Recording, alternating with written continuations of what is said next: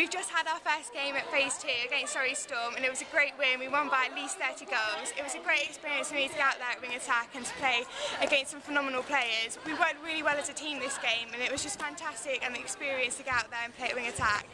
Um, we've got Mavericks in Phase 2 on Thursday so it'd be great to have your support there. Um, just overall the team worked so hard tonight and I feel like the win was well deserved so well done Bath.